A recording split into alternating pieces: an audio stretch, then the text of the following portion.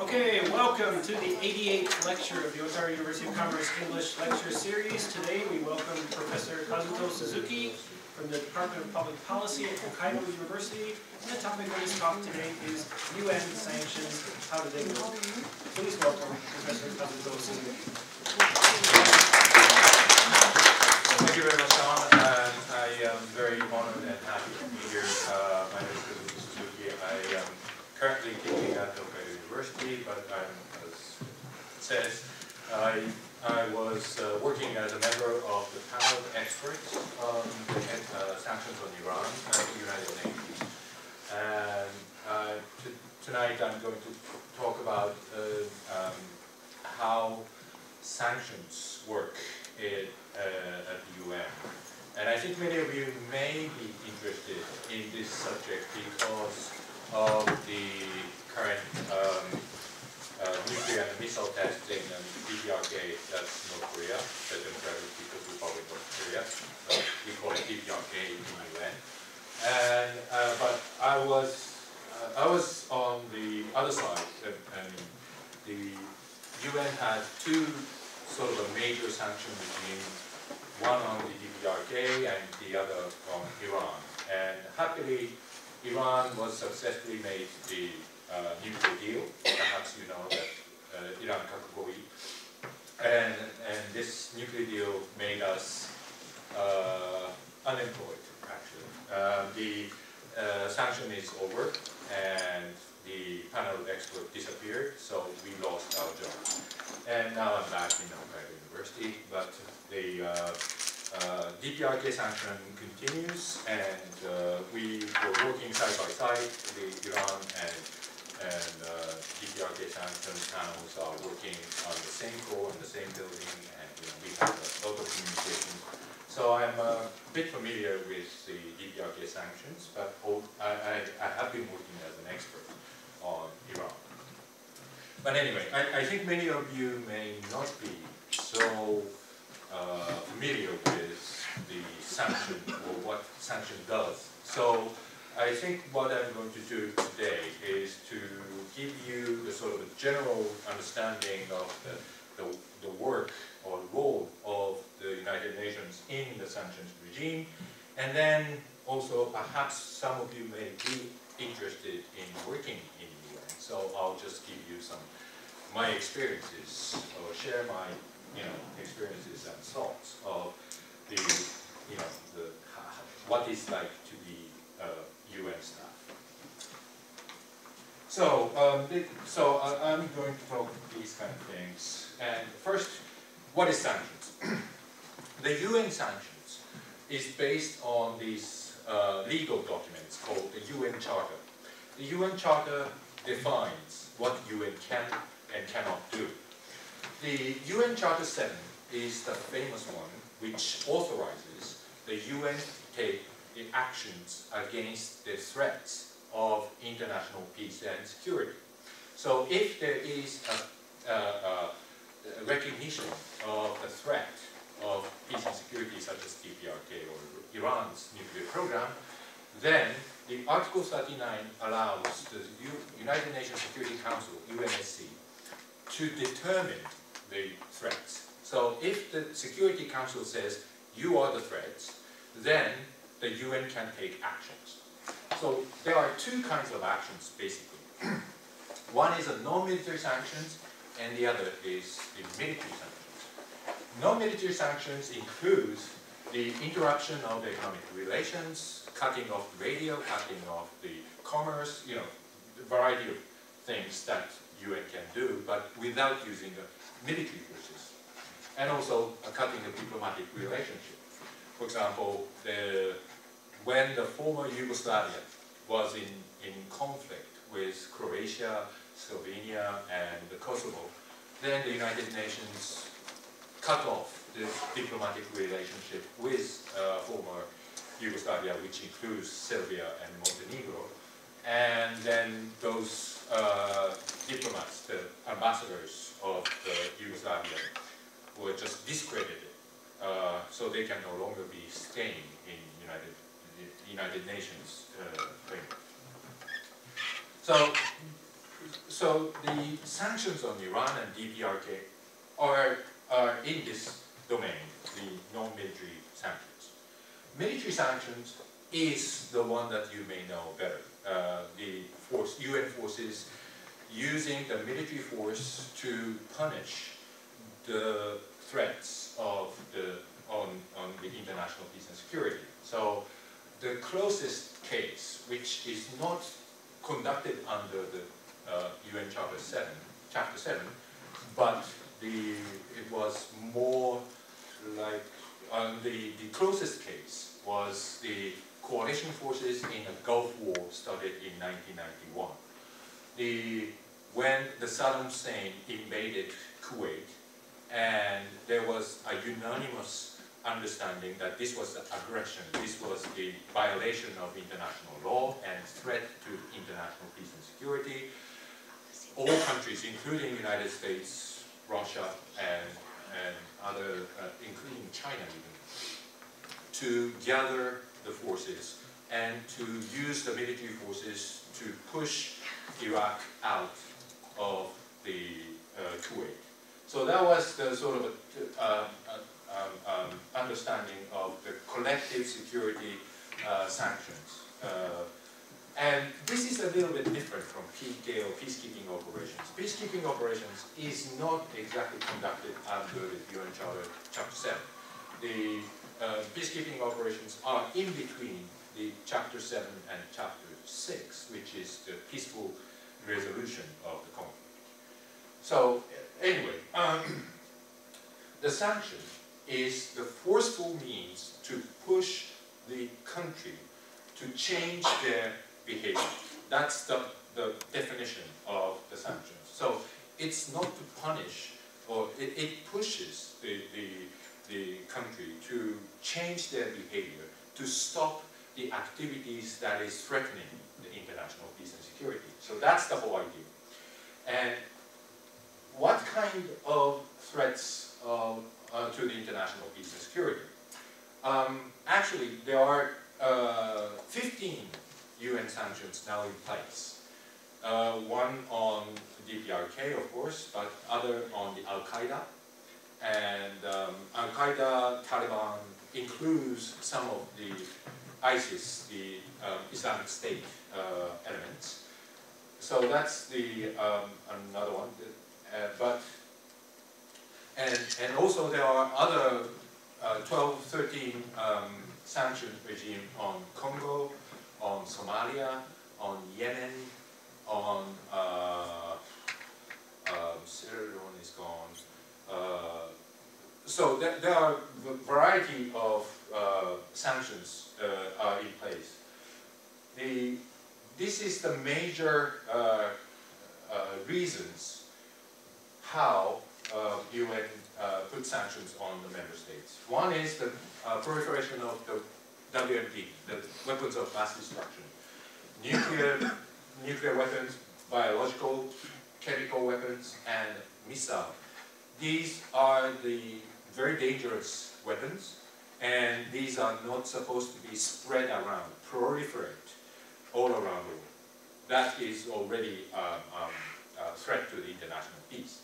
So in order to contain those proliferation activities, the UN put sanctions on, and that is the Iran and DPRK sanctions. But the other ones are violation of the human rights. For example, in Congo, in Yemen, you know, these are the violation of the human rights that the dictator is killing all the opposing parties and you know uh, anti-government movement, etc. So for these countries are under sanctions, or individuals or groups of people are under sanctions. the other one is a disruption of the peaceful political process. It's sometimes, you know, uh, there is a, a conflict in, in the country, civil war. And one group trying to take over the power, political power, from the other group. And if uh, UN decides that these are the threat to international peace, that can, uh, the UN can put the uh, uh, sanctions on them. Oops. That's. Okay. so how UN sanction works? There are three major organizations or, or bodies which are under the Security Council. Perhaps you, you don't need to, I mean, I don't need to explain what the Security Council is. I mean, Security Council is the most powerful um, chamber of the, of, or organ of the UN system, which has the power to make decisions which binds the member states. So if there is a decision of 15 member states, um, which uh, the majority is 9, even though it's 15, and majority is 9, including the five permanent members, the United States, Russia, China, and UK, and France. And if once the decisions are made, then it binds all the member states. Because the UN Charter, Article 25, says the power of the decision of the Security Council has the legally binding power. So everyone in the UN system accepts the understanding that the once the Security Council make a decision, then it binds your country, our country. The Security Council in the sanctions make decisions and creating sanctions, adding new sanction methods, etc. And then adopt the reports uh, which are provided by the panel of experts, uh, which I, I, worked. And also, uh, the Security Council has the veto power, which means that the five permanent member states uh, have the power to say no. So if the panel of experts, ourselves, write a report which is not being accepted by China or Russia, then our report's just gone in the air. And it happened once in uh, 2011 that what we wrote in our report was not approved by the Security Council because it, we mentioned some Chinese company's name. And that was not the, uh, you know, the, that, that was not the sort of best interest for China to be included in the report. And so instead of changing the, the, the words, they just throw away everything. So our papers are in the rubbish bin. Under the Security Council, there is something called the Sanctions Committee, which are more technical group, but composed by the 15 member states, the same member states of the Security Council, and 15 uh, members, are mainly the uh, diplomats coming from the missions, permanent missions. You know, in UN, you have the, the 193 uh, member states. 193 member states have their own missions, like embassies. And minister is the sort of the number three, or or let's say the third, third layer from the top at the embassy, the permanent mission.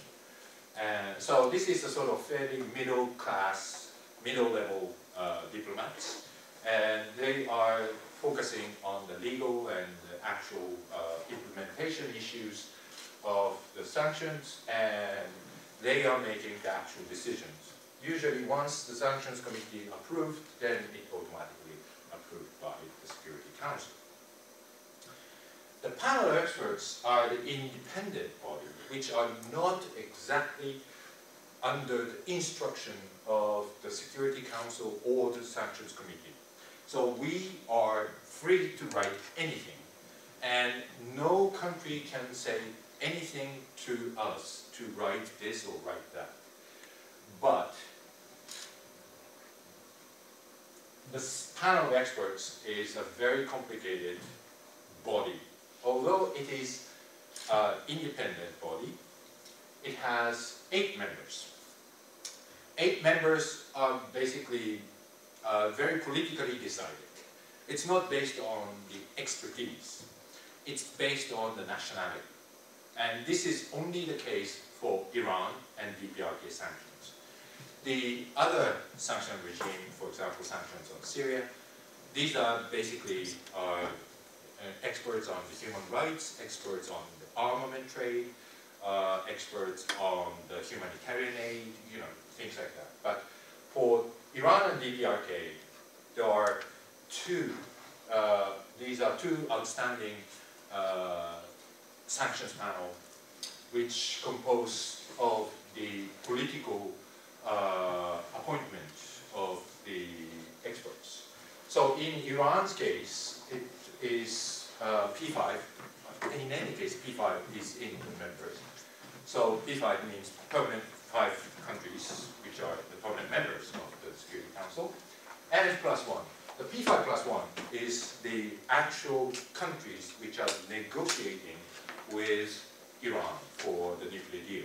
So uh, P5 plus one, which is the one in Germany, so six members are politically fixed. And then two seats are available.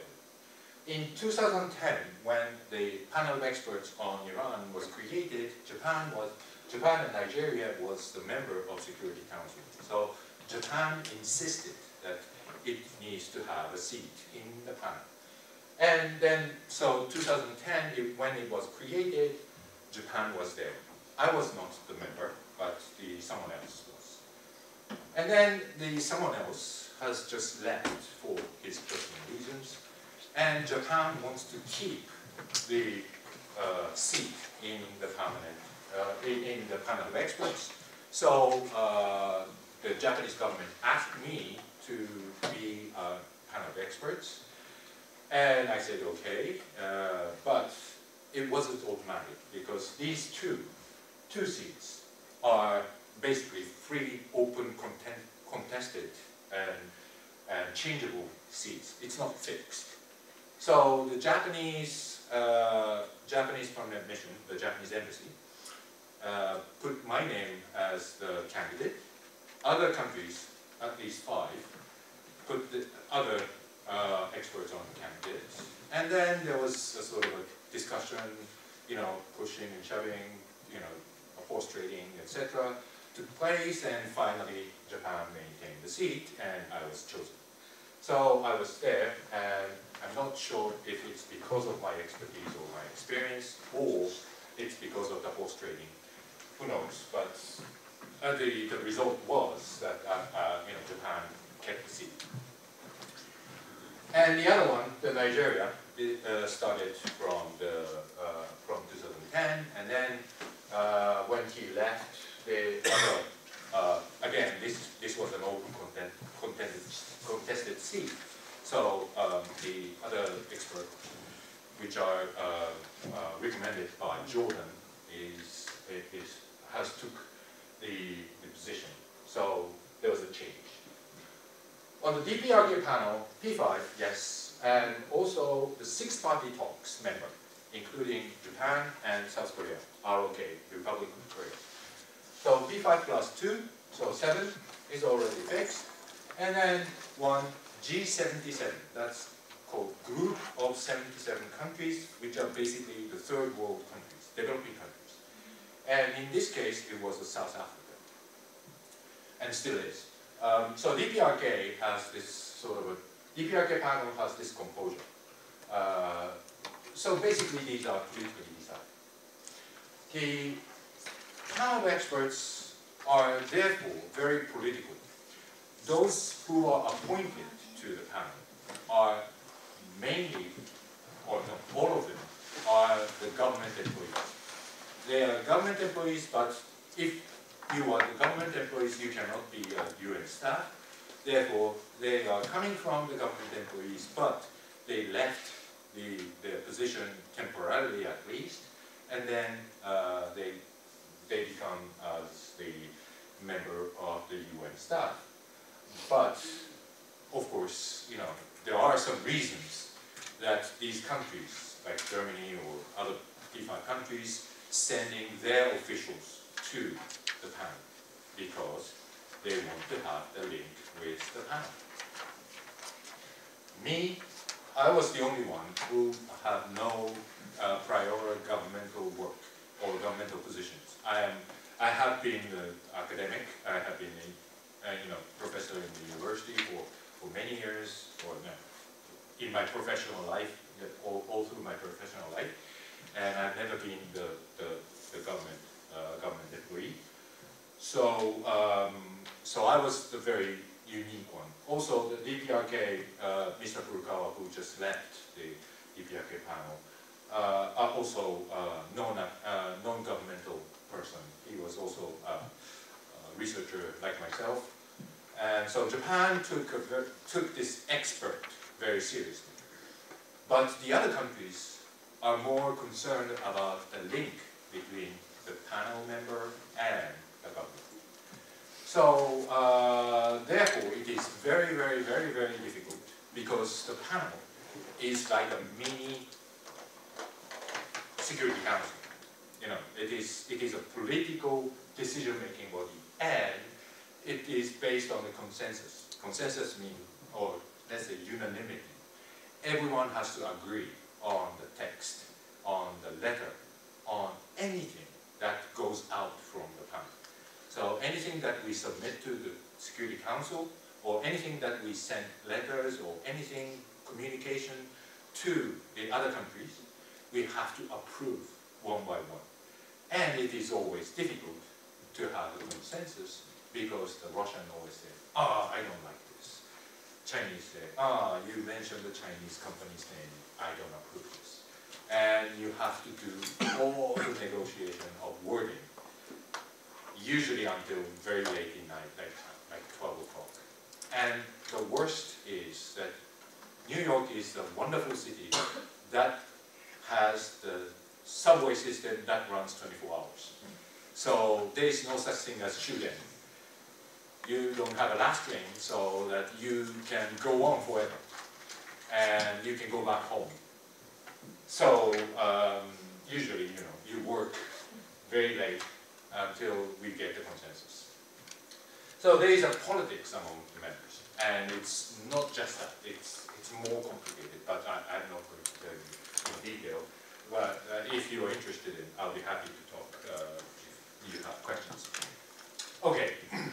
So what panel of experts does, it's, the, it's in the uh, text, it's in the letter of the resolution, says gather, examine, and analyze information, which means we are like the CIA, we are like FBI, we are like MI6, we are intelligence body. We gather the information, anything that comes from sources, etc., you know, the public resources, the uh, private contact with the journalist or private contact with the uh, intelligence officers of the member states, etc. We gather the information and then we analyze, we examine whether these informations are true or not, whether these informations are uh, violation of the uh, Security Council resolution, and then we analyze, which means we write on the report. And then we submit the report recommendation to the committee, sanctions committee and the Security Council. So um, that's the basic outline of the how uh, UN system works on the sanctions. And now I'm going to talk a little bit about the Iran's uh, sanctions.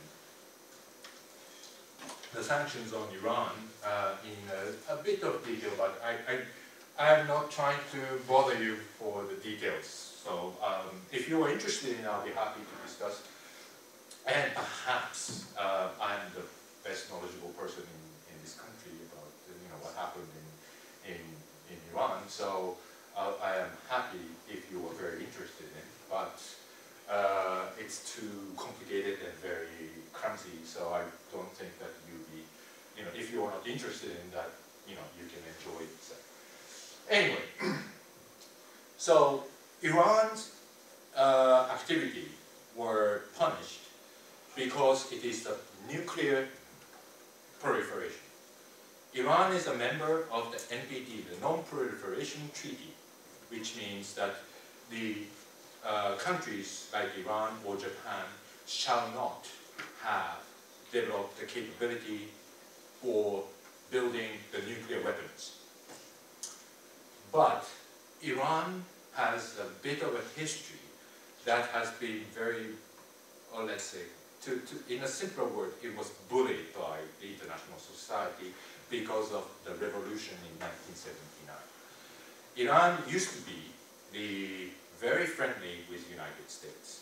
Uh, Pahlavi, uh, that is the uh, kingdom, uh, the, the Pahlavi dynasty has controlled, the, governed the, the Iran for many years, uh, particularly after World War II, and which has very friendly relationship with United States. So it was a very secure, you know, non-religious uh, country, but it was a dictatorship.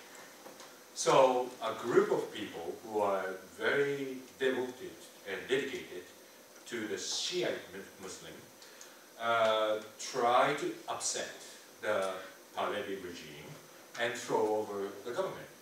So that was the Islamic Revolution in Iran in 1979.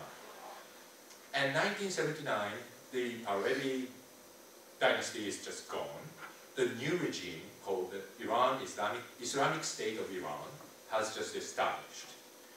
And but at that moment, there was a very strong anti-American feeling and activities going on, and some of the group, very radical group, took over the American embassy in Tehran and occupied the uh, embassy for more than one and a half years.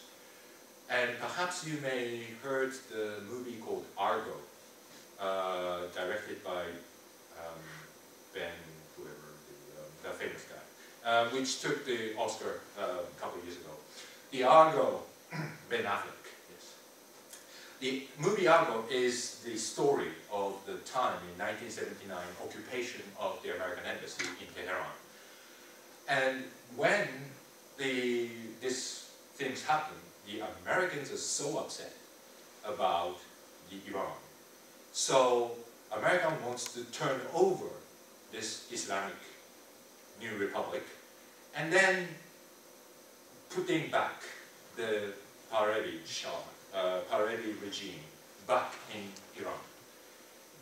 And the, the methods they used was to use Saddam Hussein in Iraq to fight against the Islamic Republic of Iran. So there was something called the Iran-Iraq War took place from 1980 to 1988. So eight years, long years, uh, just newly born Islamic Republic of Iran have just faced a very tough fight against the American-backed Saddam Hussein. So perhaps this is an irony of history that, you know, the Americans helped Saddam Hussein to build their capability of, you know, um, chemical war, chemical warfare, you know, um, uh, chemical weapons. And then in 2003, the Americans say, you don't have, you know, you are having weapons of mass destruction, and therefore Americans killed the Saddam Hussein. So that was an irony of the history, but anyway, the, Iran was facing a very tough war, and therefore they have to have build the capability to fight against a very tough uh, country like Iraq and Israel and then the United States. In order to do so, nuclear weapon is the answer. So there was a certain project going on since 1980s that Iran can build the nuclear weapon. And the A.Q. Khan, this is the father of the Pakistani nuclear, uh, nuclear weapon. This guy is a very, sort of, have a two phase. One is the father of the Pakistani nuclear weapon, and one is a merchant of the nuclear technology in the world. So A.Q. Khan sold the technology to North Korea, Iran, Libya, etc. And he get lots of money. From them. Iran was one of the customer of the A.Q. Khan, and then he uh, then he sold the enrichment technology to Iran. Enrichment is to, in Japanese, it's noshuku, noshuku uran. it is to enrich the uranium uh, to the level of the bomb, nuclear bomb. So without the enrichment technology, you cannot make bomb. Enrichment technology is a key technology to make a bomb, nuclear bomb, okay? And the AQ Khan solved this, this technology. In 2002, uh, a group of Iranian descent in United States and elsewhere have, who are anti-Islamic uh, Republic of Iran, revealed a secret sites called Natanz in, in near, near a city of Qom, uh, which is in the sort of middle of Iran. This is considered as the violation of the no, uh, NPT, the non-proliferation regime, and also it is the intention, it is showing the intention of Iran to build a nuclear weapon. So it is against the um, peace and security of the, of the world. Also, Iran was building called Arak Heavy Water Reactor, which is producing the plutonium. The heavy water reactor is a type of the, the nuclear reactor which is for the power generation, electronic power generation. But this is, in Japan there are many, uh, many uh, nuclear reactor, including the Fukushima Daiichi, but all of them are light water reactor.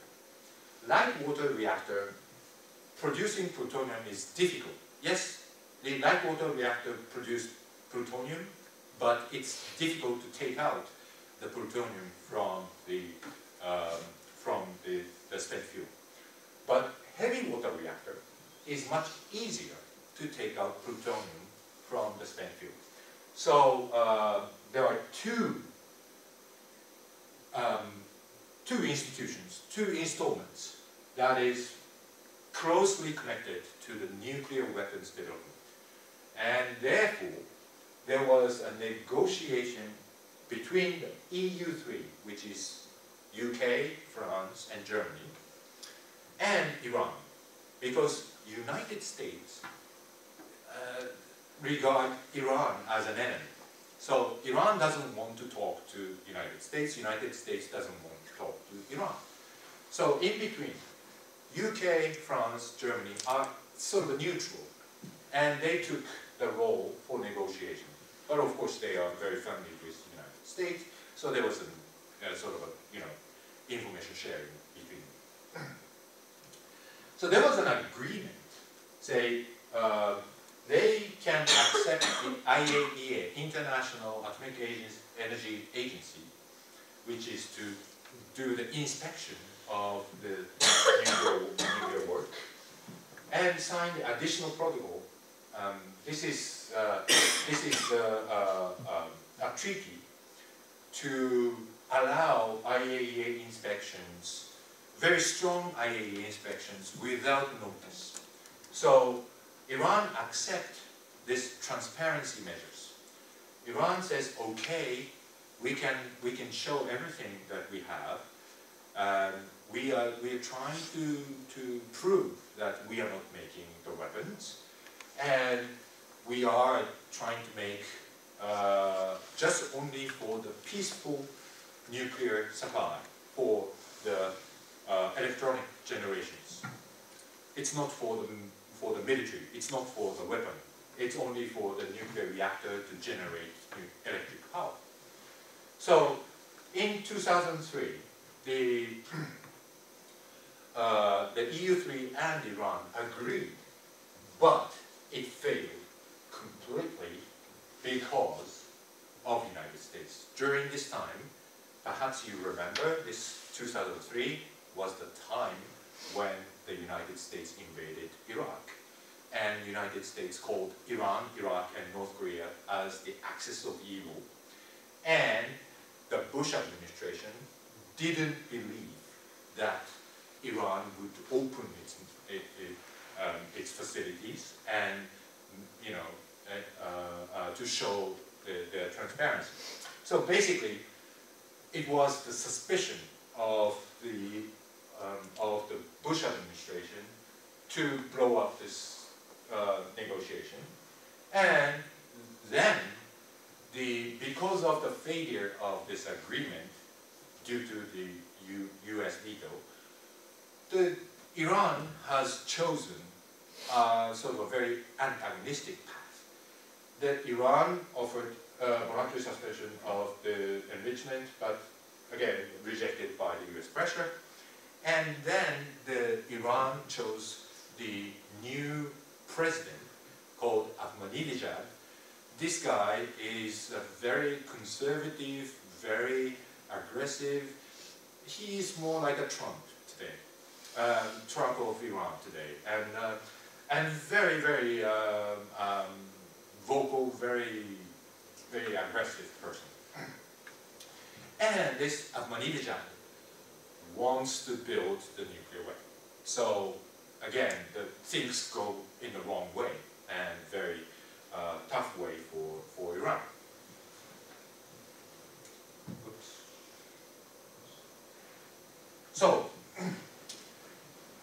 in 2006, Ahmadinejad elected, he insisted the nuclear program and the United States and the EU3 uh, and, and in, even Russia and China and others think that this is outrageous. This guy has to be contained and this guy has to be sanctioned.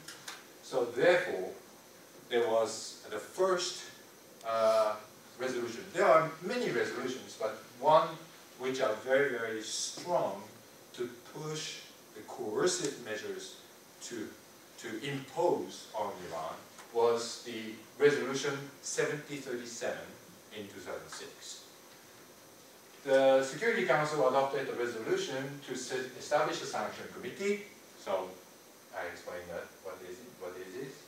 And then uh, it targets the sanctions on enrichment, which is to bring the natural uranium to the weapon grade uranium, and heavy water reactor, uh, heavy water activities, which includes the, the heavy water reactor, which can pull out the plutonium for a weapon, and reprocessing activities. Re reprocessing means taking out the plutonium from the, the spent fuel, the used fuel. We call it spent fuel. Um, so the enrichment, heavy water, and reprocessing activities are the three major pathways to make bomb. and the UN sanctions put the measures to prevent Iran to build these capabilities on enrichment, heavy water, and reprocessing activities, which includes the uh, prohibition of buying the very hard aluminium. You know, aluminium, you know, aluminium can be used this, can be used this, you know, aluminium is everywhere. But aluminium is also, can be used for the centrifuges. Centrifuge is the key piece of the enrichment activities. Uh, in Japanese, it's enshinbunriki.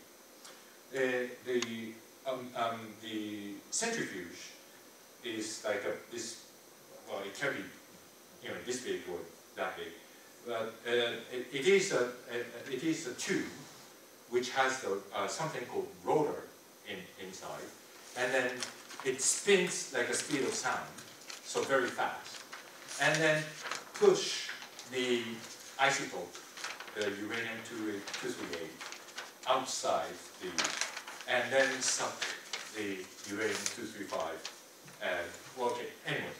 Um, I, am not going to in the detail of chemicals, you know, the chemical process of the enrichment, but anyway, this machine is important for enrichment.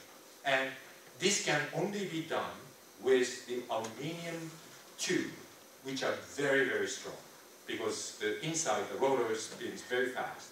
So you need to have a very strong, tough aluminium. And so the UN prohibits Iran to import the aluminum alloys, which are very tough. that can be used for the centrifuges building.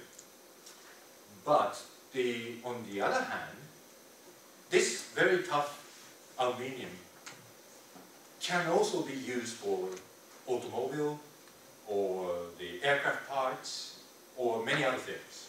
So it is our job as the kind of experts to uh, understand and identify whether this tough aluminium can be used for the, could be used for the nuclear activities or non-nuclear activities. So we have to analyze who is buying this, who is ordering this, who is paying this, and what kind of uh, aluminium alloys. You know, there are a variety of aluminium alloys that is available in the market, and for, is it really reasonable for Iran to buy such a very high quality aluminium or not? So that's our job to identify by going through the, all the information that we get. so that's um, how, that, that's only a very, very small piece of what it means, the target sanctions on enrichment. It can be uh, a carbon fiber, which are used for the rotors, or it can be a pressure transducer, which is to reduce the pressure in the centrifuge, or it can be a frequency converter, which is to change the frequency of the, of the electricity. So you, you, you'll be bored to death to this very detail of the, of the technology. And I, I think you are not interested in that, so I'm not going to tell you that. But anyway, we have to go through the whole thing, whole shopping list of Iran, which requires to make the, uh, uh, the centrifuge or the heavy water reactor or the reprocessing activities and make sure that these items are not going into Iran. Of course, we are perfect and we are only eight, so we de depend heavily on the member states. We depend heavily on the information coming from the member states. We depend heavily on the execution of the inspection by the member states. and also the uh, 7037 designate individuals and entities which are, uh, related to the nuclear program and put the asset freeze and travel ban which means that those who are involved in the nuclear program shall not travel outside Iran. And all the member states have to reject the individuals to visit and you know all uh, th this resolution requires all the member states to reject the, the, to, the entry of the designated individuals into their territory. of course, the idea was that you know those who are uh, involved in the nuclear program can go outside to learn something, the nuclear technology, or to buy something, because these are the experts who knows only, you know, who knows the best about the machines. So, um, you know, banning the travel makes it uh, difficult for them to procure uh, items. But the most important thing is the asset freeze.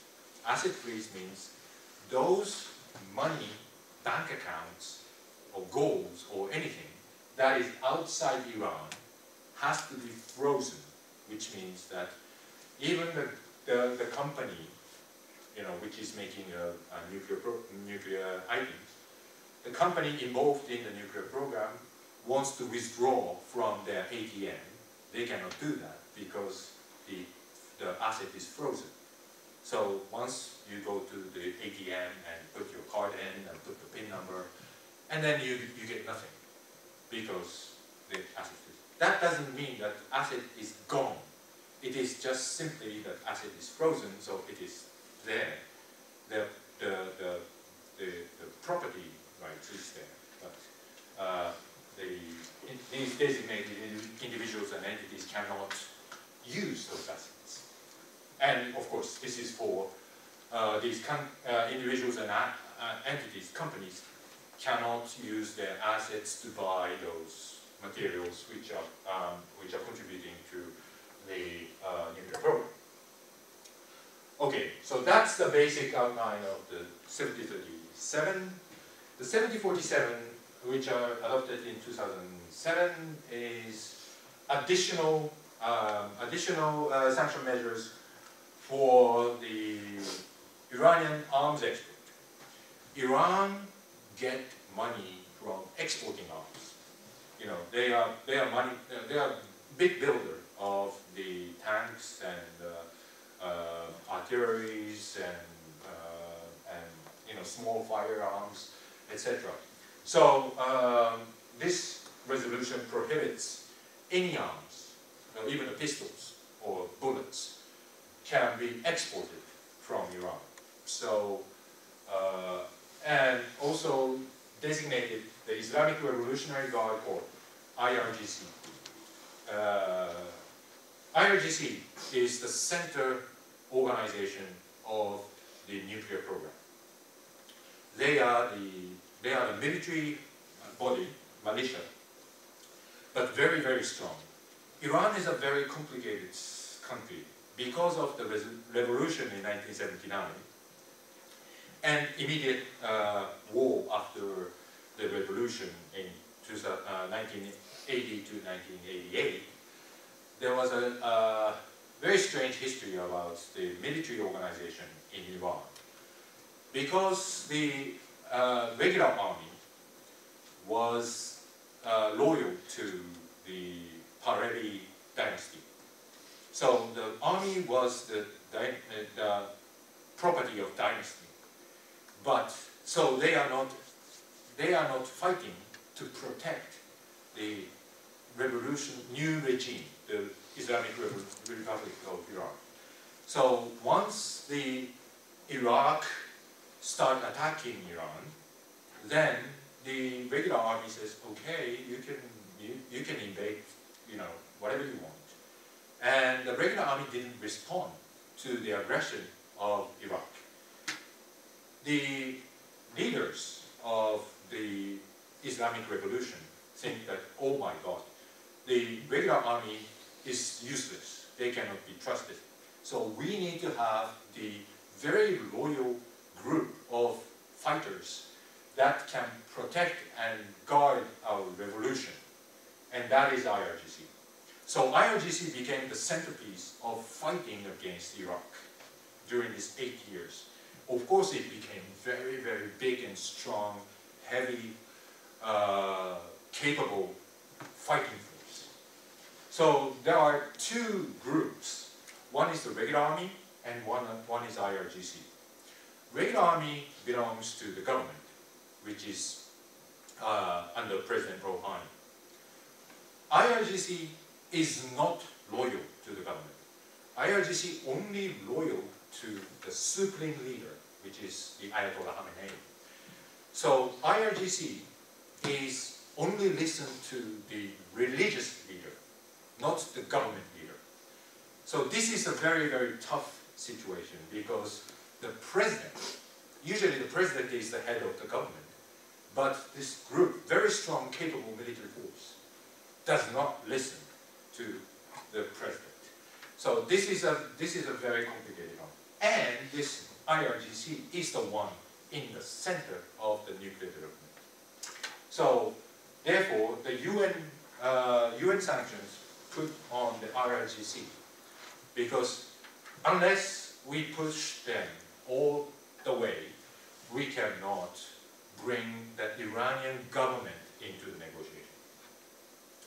Which means that if, un unless IRGC give up their ambition to build a nuclear weapon, we cannot bring the government, which are not related to the IRGC, we cannot bring the um, Iranian government onto the negotiation table. So that's the toughest part of this Iran sanctions. 2000, uh, 2008, there was a, a UNSCR uh, 1803, which is uh, another re-emphasis. And 1929, this is the, perhaps the most comprehensive one in 2010, establishing the panel of experts and prohibit um, uh, import of weapons to Iran, etc., etc. Okay. Um, also, the missile control. This delivery system means missile. So, nuclear program alone is not that threat because if you cannot carry it outside and put it onto the target, then it's just useless.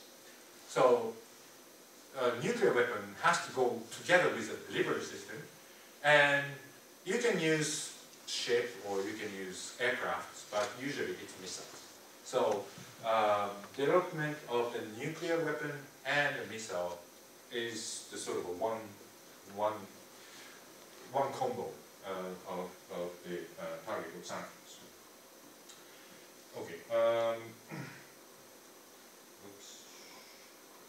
So the UN sanction is a targeted sanctions, which means that uh, we try to push the Iran not to build a nuclear weapon. But that's not enough to bring them to the negotiation table because yes, we can try our best uh, from the UN side. We try our best to prevent Iran to develop their capability. But yes, that delays or perhaps diminishes the chances of Iran to develop their nuclear capability, but at the same time, the, the leadership, the uh, Ayatollah Khamenei and uh, IRGC doesn't feel constrained. They try to find the other way to evade the sanctions, and they try to find a sort of an underground way to access those technologies. So UN sanction alone is not enough to put them pressure. So in order to do, in order to put the pressure on Iran, we also need the unilateral sanctions, which are uh, unilaterally put on Iran by member states. There are two kinds of unilateral sanctions um, here, but it's not limited on only two. I'll show you the uh, European Union uh, unilateral sanctions and the United States unilateral sanctions, but also Japan, Australia, Canada, etc. are putting their own uh, unilateral sanctions. okay, I'm not going into a detail, but the European Union is putting arms embargo on the dual-use items, which are about the aluminium, etc. And also put the restriction on insurances. This is an interesting one, because Iran needs to export oil to gain foreign currency. Without foreign currency, they cannot buy material from outside country. So foreign currency, particularly the dollar and euro, is important. And they want to sell uh, oil in order to get the dollar and euro. But in order to export oil, they need insurance on ship. If the ship, the tanker, doesn't have an insurance, then it's too risky. If there is an accident, if there is a pirates, then insurance needs to be covered for the losses of the tanker. And most of, perhaps you heard Lloyd's or, you know, Munich Re or, you know, um, the major insurance companies are in Europe. So when the EU says no more insurance to Iran, which means Iran is very tough, Iran find it very tough to export their oil. So that's connected to the oil embargo. Oil embargo means you, I mean, Iran shall not export oil, but of course Iran will not listen to it. So European Union will not buy oil from Iran. There are many countries, including Greece, Italy, Spain, which are heavily dependent on oil from Iran, as, as well as Japan, South Korea, China, and India. But uh, European Union countries are now, well, in 2000, from 2012, they are not allowed to buy the oil from Iran. So Iran lost the major customer in Europe.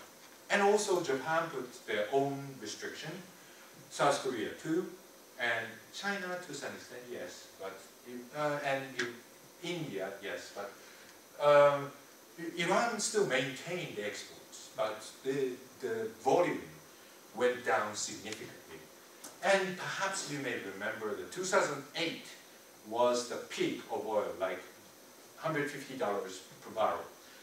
And still, 2012, the, it was about 100, 100 or 110 So basically, Iran lost a lot of money from, uh, from the sanctions. The other interesting part is called the cutting off from SWIFT. Perhaps you may not be familiar with the word SWIFT. This is a society of world, uh, society of, uh, I forgot the, the detail, but it's a financial network that allows to exchange, send and receive money internationally by electric, electric means. So if, perhaps if you have chances to send money to the foreign bank account, then you be asked to put the SWIFT code.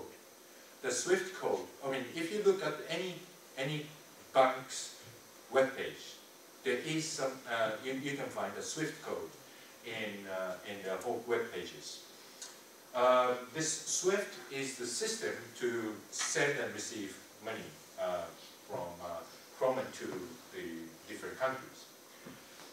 Iran is cutting off entirely from uh, SWIFT, which means that even if Iran was successfully exported the oil, they cannot receive the payment from another country to their bank because it is banned, blocked, cut off from SWIFT. So, yes, you can carry uh, tons of cash and then bring it to Iran. You can do that, but basically, you know, that's too risky and usually people don't do that. And therefore, they use the SWIFT system. And cutting off from SWIFT means that it is extremely difficult for Iran to get the money in and out for, for the foreign countries.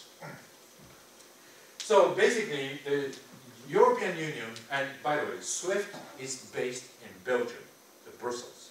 So that's why the European Union puts the sanctions on SWIFT, because it is the legal uh, jurisdiction is in the European Union. And therefore, this is a very, very strong method and means to, uh, to put pressure on. SWIFT ban, insurance restriction, and oil embargo deeply affected on the Iranian economy. Of course, the money is not coming, so you are, you know, although you are oil producing country, you export oil, but you don't get money.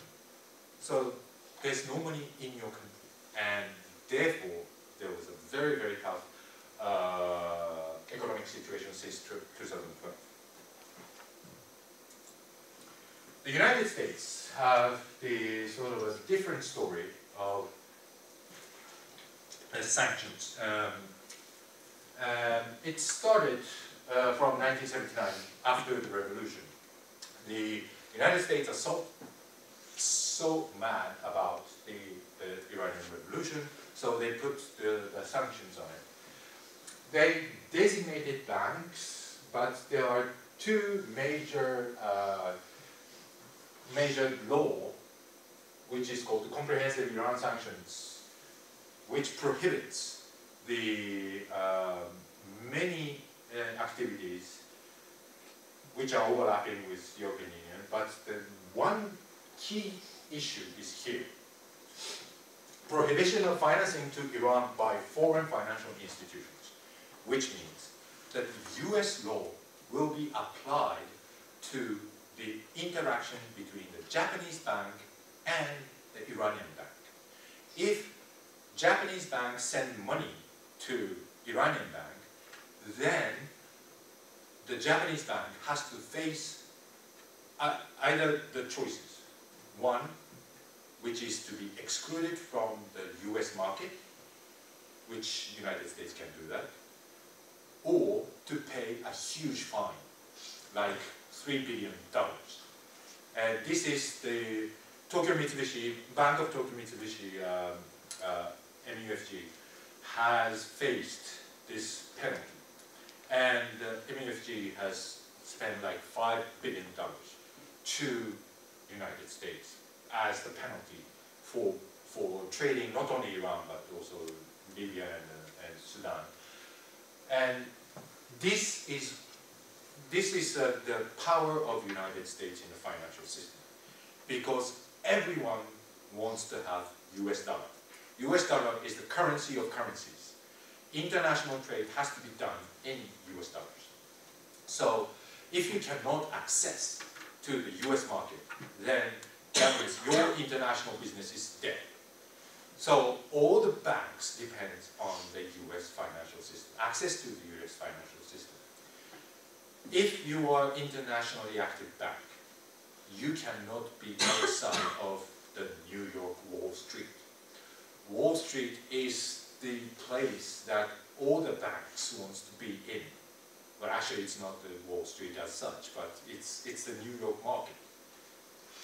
So if the United States threaten the foreign banks, like Tokyo Mitsubishi, then the Tokyo Mitsubishi says, oh, please let me in the US system. Let me in the US market. I'll pay the fine. I'll pay the penalty. Let me in. So, of course, bank doesn't want to pay penalty. So what they do, they just simply cut off all the transaction with Iran. So this was even tougher than SWIFT. So both cutting off from SWIFT and this IFCA, which is to push the uh, uh, foreign companies, foreign banks onto the US law. It's called the extraterritorial application of the US law. Is a very, very tough methods that took place in uh, in the Iranian sanctions. So this cannot be done by UN. UN is not the, the financial institution. We don't have the power to control the foreign banks. We don't have a power to control SWIFT. But you, you, United States does, the European Union does. So they, they put those power onto the Iran. So there is a core, you know, general understanding and collaboration between UN, EU, and United States to push Iran to the negotiation table. So uh, eventually, the, the Iran feels pain from these economic sanctions, and the Iranian people find it very, very difficult to live in a very tough economic environment. So in 2013, um, there was an election of the president of the government, and Ahmadinejad was running, but nobody paid attention because he made the mess. And everyone thinks that Ahmadinejad is the bad guy who made the Iran's economy terrible. So he, they chose Rouhani, Mr. Rouhani, as the president. And Rouhani is the very Western-minded, very gentle, very politically skillful person. And he, his, his election pledge is to lift the sanctions. And people loved it. The first time in the history of the Islamic Republic of Iran, he won the first round of the presidency. Usually, you know, once there are many candidates, and usually no one gets the majority over 50%. So therefore, um, the the last two, the top two, will have to do the second round.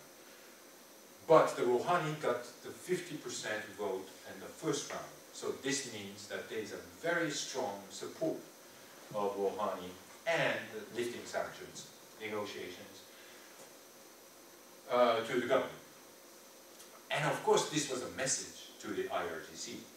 IRGC is the one who does the nuclear program, but and they are not under the direction of the president, but because of the massive people's vote, people's willingness to lift sanctions, IRGC says, okay, okay, you can negotiate.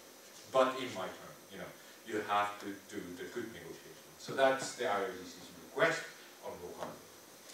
Rouhani negotiated from uh, 2013 and two months after his arrival to the president, they agreed on something called the JPOA.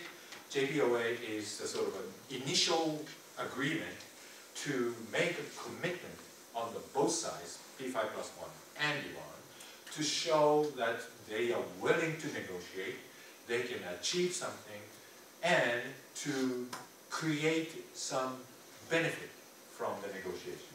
And in fact, the JPOA was uh, very welcomed by the people in Iran because there were, you know, certain frozen assets coming back to Iran and became sort of a, uh, the Iranian economy get sort of sorted out. And then, after two years of negotiation, 2015, the Joint Comprehensive Plan of Action, JCPOA, has agreed, and UNSCR 2231 was adopted. So the negotiation, I'm not going into a detail, but very, very interesting negotiation. But uh, finally, both sides committed, and until today, none of the uh, Iranians' actions are not violated. Iran committed and still committed to the JCPOA. So Iran is now completely off from the nuclear weapons development, and it is more transparent than ever to that, that what Iran does for their nuclear work. So what JCPOA says, and I, I think I don't have much time for the details, so Iran allows to have certain capability, civilian, not the weapon, nuclear capability. But at the same time, Iran has to accept the additional protocol and monitoring and uh, pr providing information, etc., etc. So increased transparency. And therefore, Iran will get the sanctions lifting, UN and EU, and suspending the US secondary sanctions. So this is a very difficult part to understand, so I'll just make a very brief remarks. Iran will get the lift of the sanctions of the UN. So no more UN sanctions regime, therefore I am unemployed from UN and uh, back in Japan. And also the EU sanctions are lifted, so the, the Iranian banks are now back in SWIFT. But U United States wants to keep its own sanctions to some extent. But the toughest part of the US sanction was the foreign banks regulation. And this is called the secondary uh, sanctions. The primary sanction is the sanction only for the US entities, you, the companies in US. The secondary sanctions are the sanctions outside US. So this sanctions outside US is just, has to be stopped. But still, the US sanctions inside US system, US jurisdiction remains which is a little bit tricky because, for example, if you want to send, uh, export car from Japan to, to Iran, you can do that.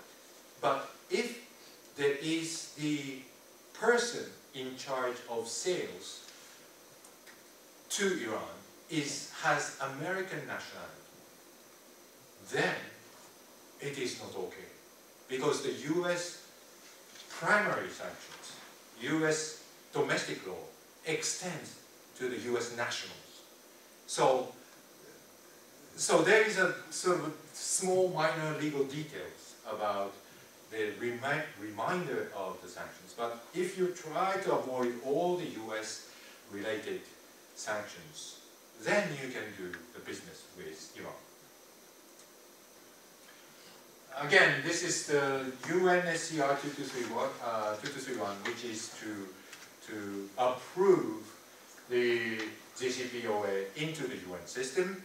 And the reason why is that the, this JCPOA is only an agreement between the P5 plus one, which means United States, Russia, Germany, um, China, UK, and France, and Iran.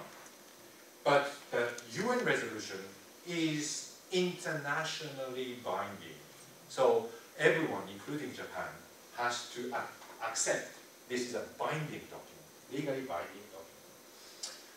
Um, there are small minor problems of the text, which is like, um, you know, missile activity control is limited, um, arms embargo problem, etc. But anyway, um, so the UNSCR 2231 is to is effective to prevent the Iran to build a nuclear weapon and still the uh, Iran committed, but the delivery system, uh, which means missile system, and also arms embargo, that Iran doesn't respect um, the UNSCR. So UN has a sort of a, you know, um, problem of making sure that Iran is not doing a bad thing for the international community.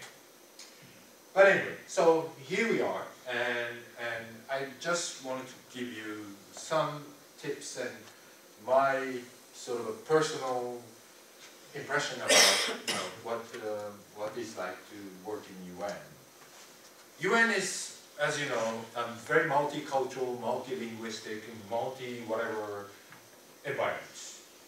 You work with the people from Trinidad and Tobago, and the people from the, uh, Sri Lanka, and the people from, uh, from uh, Ukraine, etc., etc. I mean, there are no cultural coherence in UN. Of course, there is a sort of a general understanding that this is a very elitist uh, organization. So you have to behave like sort of an international public servant. But the understanding of the work is quite different. Like, for example, about the time. When you say, okay, let's meet at 10, the Japanese and Germans come five minutes before 10, but the Colombians and the uh, Tajiks are coming like 30 minutes late. I mean, these are the sort of daily life in, in UN. So it's very exciting. You learn a lot. You have very exciting colleagues and very, very uh, tough, tough, tough issues to face with, but it's also very frustrating. You know, as I said, in a panel, it is more like a sort of small, mini Security Council. It's very politicized. I mean, it's not just the panel, but the entire UN system is very, very political. So um, the institutionalization or bureaucratization or whatever you call it, the very strict legal-based, document-based, bureaucratic red lines is everywhere. Red tapes everywhere. And very, it's, it's, not, it's not flexible. UN is a very, very unflexible bureaucratic system. But it's, I, I, think it's, it's, it's an inescapable because if you have the, such a multi-diversity, uh, you know, the multilateral diverse, diverse uh, environment, you need to have something to, to set the standards. And therefore, it's, uh, it has to be written every details on on the, on the paper and everyone has to play with the, the rule book. And political panel, yes, we are in a very political panel. We were supposed to be independent, but as I said, most of them are appointed from the government, and um, it's it's very uh, politicized. So you have to you have to negotiate until until 12 o'clock over the word like recommends or requests or you know, very small minor details, but some sometimes useful, but sometimes totally irrelevant. But people are just talking about these small things. Um, but at the end of the day, you know, being in a, a UN, working under the UN Security Council resolution, I, you know, it is it is a sort of a feeling that you are contributing, your work is contributing to the international peace and security. But the reality was that we are talking about the pressure transducers or aluminum alloys or, or frequency converters and it's very sickening. I mean, yes, I know the details, I know the importance of the details, you know, devils are always on the details. So we have to go through this small, minor, nitty-gritty things. But it doesn't feel like you are contributing uh, to the international peace and security. You are not like a Superman to save the world. You feel like you are just another bureaucrat just trying to check up all the lists. But that is how things work in the UN. I mean, the UN is a very legal, legalistic organization, and everything has to be done based on the legal legitimacy. So we have to go through the whole details to make sure that the, what UN does has the legal basis and make sure that it's going to be effective. So in that sense, yes, it was a very, very interesting book. Intelligence work, yes, it is like, you know, working with the FBI guys or the MI6 guys, MI5. Yes, it's very interesting. But again, it's very frustrating because they are the intelligence guy. They don't talk much. We have to get all the details. And in order to do so, we need to have basic, you know, very, very basic understanding of, you know, how they work. And try to get, in, you know, important information from them is not an easy task. And, you know, the 50% of the my work was to negotiate with the member states to get information, and that was frustrating but very interesting. And countries such as Japan is very cooperative. Countries like Chile, countries like Colombia, countries like uh, uh, South Korea are very, very cooperative. Countries sometimes are not very cooperative. So, uh, very uh, different level of cooperation and we have to get through this international politics. At the end of the day, you know, getting information about the aluminium alloy is not, doesn't look very international politics. But in fact, it is the heart of international politics. So don't try to picture the international politics such as guns and missiles and bullets. It is aluminium alloys and pressure transducers and frequency converters. That's the international politics. So there are limits and lack of capabilities in UN, but it is far better than nothing, and it is the only organization that can bring these issues in to the, the work of the international politics, and I think if you have any chance, and I think you are certainly interested in, that to work in UN, which is very, very exciting. So I'll stop here. Thank you.